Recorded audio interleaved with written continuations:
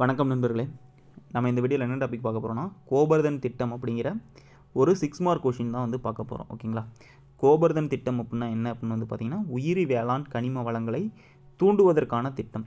அதாவது வேளாண் உயிரி வளங்களை வந்து பார்த்திங்கன்னா தூண்டுவதற்கான ஒரு திட்டம் தான் வந்து பார்த்திங்கன்னா இந்த கோபர்தன் திட்டம் அப்படின்னு சொல்கிறாங்க இந்த திட்டம் வந்து பார்த்திங்கன்னா தூய்மை இந்தியா திட்டத்தின் கீழே இரண்டாம் படிநிலையாக நடைமுறைப்படுத்தப்பட்டுள்ளது. அதாவது இந்த கோபர்தன் திட்டம் வந்து பார்த்திங்கன்னா தூய்மை இந்தியா திட்டத்தின் கீழ் இரண்டாம் படிநிலையாக வந்து பார்த்திங்கன்னா நடைமுறைப்படுத்தப்பட்டிருக்கு. இதில் அதாவது இந்த திட்டத்தை வந்து நடைமுறைப்படுத்திய அமைச்சகம் எது அப்படின்னு வந்து பார்த்திங்கன்னா ஜல்சக்தி அமைச்சகத்தின் கீழே தான் வந்து பார்த்திங்கன்னா இந்த கோபர்தன் திட்டம் வந்து செயல்பட்டு வருகிறது.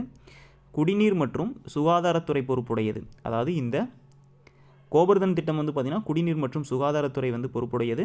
ரெண்டாயிரத்தி பதினெண் பதினெட்டாம் ஆண்டில் தான் வந்து பார்த்திங்கன்னா நடைமுறைப்படுத்தப்பட்டுச்சு. ஜல்சக்தி அமைச்சகத்தின் கீழே செயல்படுகிறது. ரெண்டாயிரத்தி பதினெட்டில் வந்து பார்த்திங்கன்னா அமல்படுத்தப்பட்டது. குடிநீர் மற்றும் சுகாதாரத்துறை பொறுப்புடையது தான் வந்து பார்த்திங்கன்னா இந்த திட்டம் ஓகேங்களா? அடுத்து நோக்கம். நோக்கம் வந்து பார்த்திங்கன்னா மக்கும் தன்மை கொண்ட கழிவுகளை அழுத்தப்பட்ட உயிரி வாயுவாக மாற்றி விவசாயிகளின் வருவாயை இரட்டிப்பாக்குவதை நோக்கமாக கொண்டிருக்கு.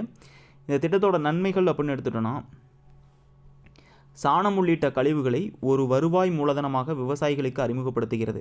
இதன் மூலம் விவசாயிகளின் அன்றாட தேவைக்கு வந்து பார்த்திங்கன்னா கேஸ் சிலிண்டர் வாங்குவது குறைகிறது அப்படின்னு சொல்லி சொல்கிறாங்க இதன் மூலமாக விவசாயிகளோட வருமானம் வந்து உயர்கிறது அப்படின்னு சொல்லி சொல்கிறாங்க அதாவது சாணம் உள்ளிட்ட கழிவு கழிவுகளை வந்து பார்த்திங்கன்னா ஒரு வருவாய் மூலதனமாக வந்து விவசாயிகளுக்கு அறிமுகப்படுத்துகிறாங்க எப்படி அப்படின்னு வந்து பார்த்திங்கன்னா இதை அதாவது சாணம் உள்ளிட்ட கழிவுகளை வச்சு கோவர்தன் கேஸ் வந்து பார்த்திங்கன்னா உருவாக்கலாம். அதன் மூலமாக வந்து பார்த்திங்கன்னா வருவாய் மூலதனமாக வந்து பார்த்திங்கன்னா விவசாயிகளுக்கு வந்து அறிமுகப்படுத்தப்படுகிறது. இதன் மூலமாக வந்து பார்த்திங்கன்னா விவசாயிகளோட அன்றாட தேவைக்கான கேஸ் சிலிண்டர் வாங்குறது வந்து பார்த்திங்கன்னா குறைகிறது அப்படின்னு சொல்லி சொல்கிறாங்க அது மட்டும் இல்லாமல் இதனால் விவசாயிகளோட வருமானமும் உயருது அப்படிங்கிறதுக்கான வந்து பார்த்திங்கன்னா இதனோட நன்மைகளாக சொல்லியிருக்காங்க. ஓகேங்களா?